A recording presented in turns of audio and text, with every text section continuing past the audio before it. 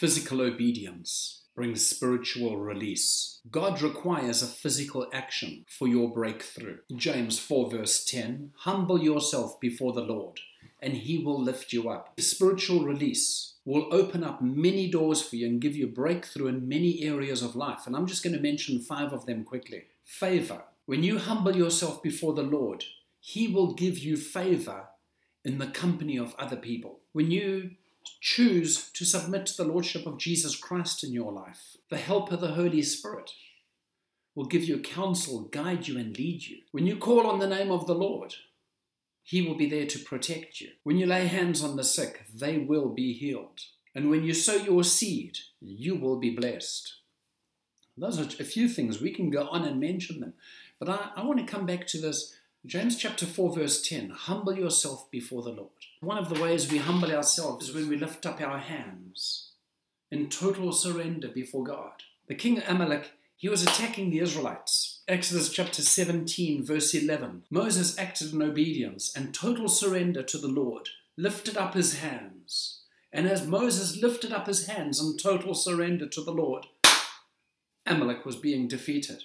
But when Moses' arms grew heavy and tired, and he put his arms down, Amalek started winning. So very quickly he called for Joshua and Caleb, who came and held up his arms. And, and as his arms were lifted up, and in, in a position of surrender, in a position of, I'm trusting you, Lord God, Amalek got defeated. And I believe that God wants to give you victory against the things that you are fighting against the Amalek, against the giants that you face, against the valleys that you're in. Let me say, an action is not a feeling. An action is not an emotion. An action is, is an obedient physical posture. You say, well, help me with this. Get onto your knees. There's a physical posture. And as you submit to the Lordship of Jesus Christ, he will reign and rule in your life and He will give you the victory. Another physical posture, another physical obedient position is keep your eyes on Jesus. Don't look at the things around you. You know, Psalms 24, verse 3 and 4 says, Who can come to the mountain of the Lord but he who has clean hands, a pure heart, a soul not lifted up to an idol, and a tongue that does not speak deceit. As you choose to be physically obedient to the Lord, in keeping your vision, in keeping your work and your walk pure and your motivation right before the Lord, and keeping your tongue controlled and restrained, the Lord will bless the works of your hands and cause you to prosper. Amalek will fall you will have the victory. Let me pray with you. Father God, we call on you in Jesus' name. I call on you right now, Holy Spirit, to come in power, to come and touch your child.